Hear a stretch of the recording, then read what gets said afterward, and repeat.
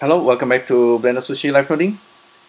In this video, I'm going to do something that's a little bit special. It's a it's a request from one of my uh, photographer friends. Um, uh, he used this uh, Theta camera to, to, to do like 360 image, uh, which is a we know it as equi-rectangular kind of format. If you actually render, if you ever render something using Blender cycle renders and then you set it to equirectangular, you're gonna get something like this. And if you set up the dimensions correctly, like a two by one ratio, you can have a uh, this image that will work in on Facebook or perhaps on a if you post it somewhere else that accept a 360 even like if you render like a video for YouTube to works in a 360 uh, virtual reality kind of uh, format um, this actually will work perfectly.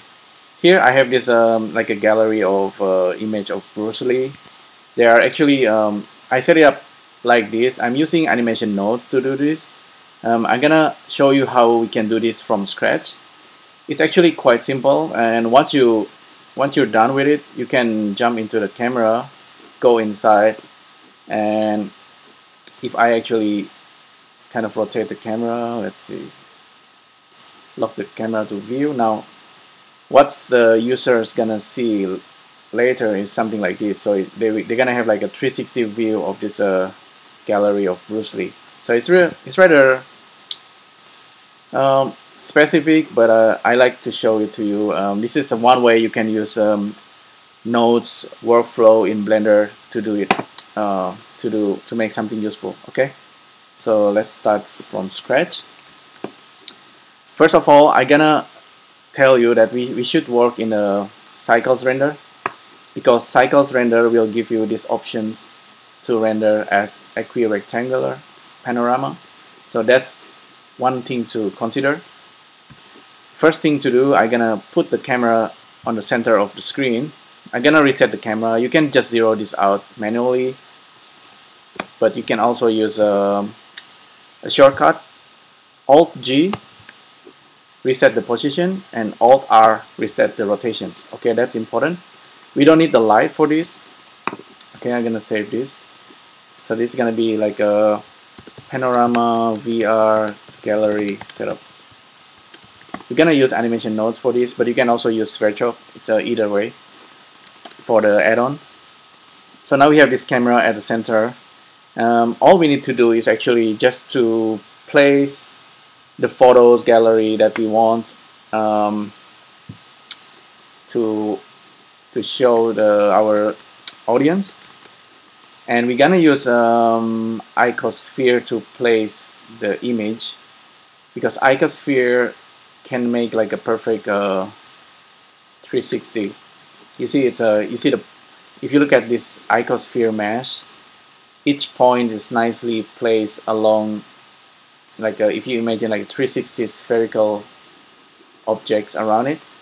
Um, we're not gonna use uh, subdivision 2 because it's this one has 42 vertices. We can actually use less. So I'm using uh, like lower resolutions of the icosphere, only 12 vertices. And for those uh, 12 vertices, we, uh, we can uh, place our photos, okay? I'm gonna just reset the icosphere just place it somewhere in the center. I'm gonna turn this into wire so we can see what's underneath. And also one important thing is to to make sure this icosphere doesn't render turn off this uh, camera. It should not render it's just for the placement of our photos. The next thing we want to do is to file import our image I have images of I'm just using Bruce Lee images. I'm a big fan of Bruce Lee but uh, I also have images of Jackie Chan. Maybe we can use that at some point. Um, we're gonna set this to emission so we don't want a diffuse material. We want emission material so it's always like a self-illuminating. This is gonna be important later. Everything else you can leave it as it is Select all image by tapping A and then import images as planes. So now you have these uh, images of Bruce Lee. and ready for us to render at any time. Okay?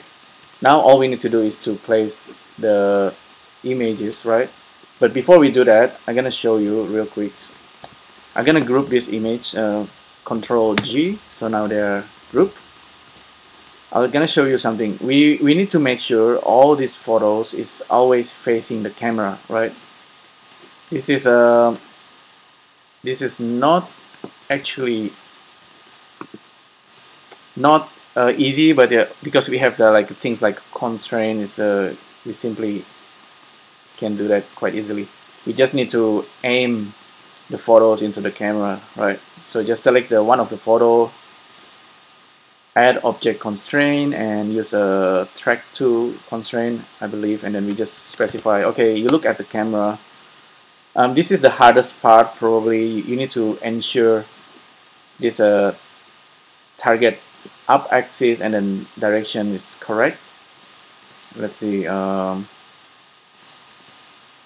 I believe it should be facing in the X with a Y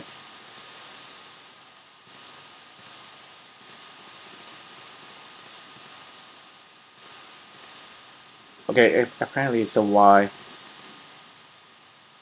The up axis should be in the Y and then target is a it's either Z I think it's a positive Z. You can um, now you want you want to apply this to all other photos so there's a quick one quick way to do that. Select all this image select this image last and then just tap spacebar and then copy constraint to selected objects. Okay now every photos is keep is always looking at the camera. So that's very very important for this to work. The next thing we want to do is just jump to compositing and then I'm gonna use animation nodes. Um, with this guy we just need to grab our objects which is our photos we already grouped okay? And we need to grab our icosphere. Um, object mesh data. Grab our icosphere here. And now we are ready to go. We just need to create a loop. And we're gonna place our objects in position. Object transform output we could actually set up the the aim constraint inside animation nodes but we're not gonna do that. We're just gonna place the objects in position. Um, sorry about the vacuum cleaner sound. Anyway we're gonna um, place the image in position using the location of the icosphere and hopefully this should work as planned. So we have all these photos of Bruce Lee ready to render. Um, yeah that's pretty much it. If you want to scale the image here you can scale it manually you know per image or if you're using animation nodes you can scale it here as well for all of them at the same time.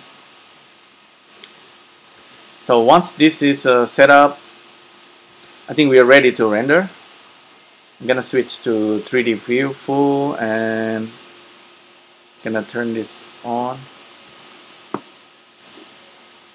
Actually just switch to default. And we're gonna render it out. Maybe with just a small resolutions like a uh, but make sure this is uh, the ratio is correct. It should be 2 by 1 ratio. And yeah just select the camera change this to panoramic equirectangular and simply hit render.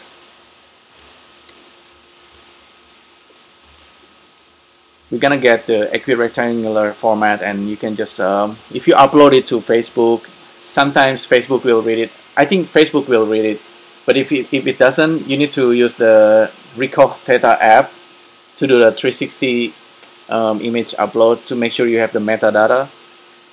If you want to upload to Facebook correctly, you need to have the metadata that says uh, Ricoh Theta and then Facebook will read it and it turn it into a 360 image I'll probably gonna upload it in and link it to in the in the description of this video below um, anyway currently if my render is a bit dark because I'm using this uh, special color management.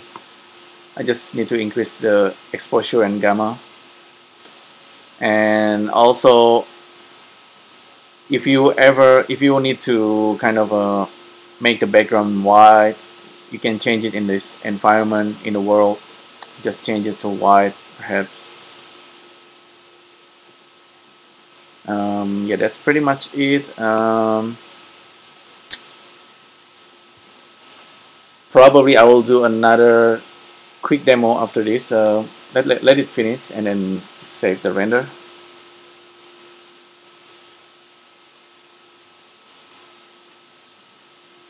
This works really well for um, if you have like just have like a 12 images. It can be in any format. You can see the photo doesn't need to be in the same dimensions. It works really well. Um, I might post this in the in the Blender Sushi Facebook pages as well for you to see.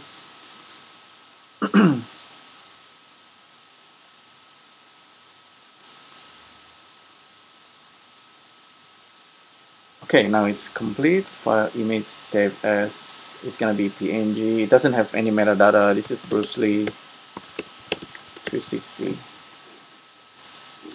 I'm done with this. I'm gonna save this if I'm done with the Bruce Lee photo and I don't want to use another photos I just um, place um, the image in different layer.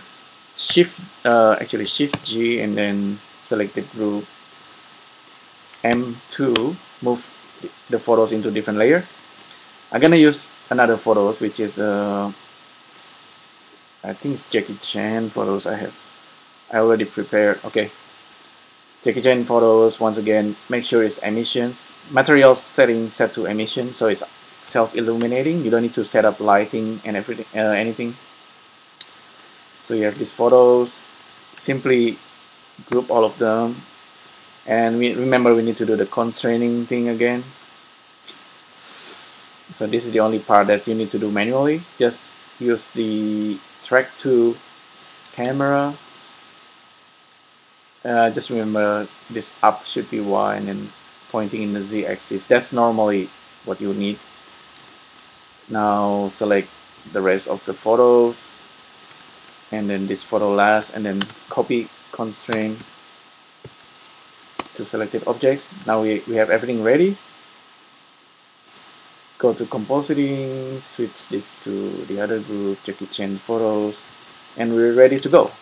Yeah, so I might actually give you this blend file as well. Um, so if you actually, so if you're a photographer and you want to, do to use uh, this technique, you just need to download Blender 3D software. This software is free, okay? Um, if you never use it, this is a 3D software, really powerful, and you need to be you need a little bit of familiarity in order to navigate around. But if you just wanna really just um, wanna use it to create this uh, 360 panorama image, you only need a like a few few knowledge just uh, in order to navigate around in 3D and then just hit the render button and you can save this as a 360 image and it should just work um, I'll show you the result real soon after I made this video and upload it to YouTube and I'm gonna give you the link um, I'm gonna upload this using the Theta app Ricoh Theta app to do the 360 and I also gonna save it with the metadata so it, it will work in Facebook as well. Okay, um, so that's pretty much uh, for this uh, special live noding video. Thanks for the request.